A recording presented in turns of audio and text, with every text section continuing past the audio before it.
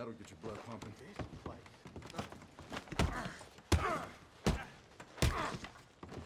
Good lord.